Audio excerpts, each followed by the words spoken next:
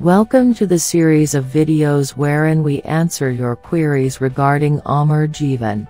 Topic of this video is how much commission do agents get on Amar Jeevan plan? LIC Amar Jeevan Term Life Insurance Plan. The plan be taken for a maximum of 40 years or till the life insured is 80 years old. The plan has three premium payment plans regular premium, limited premium and one-time premium payment. A LIC agent receives 25% of the premium as the commission for this plan.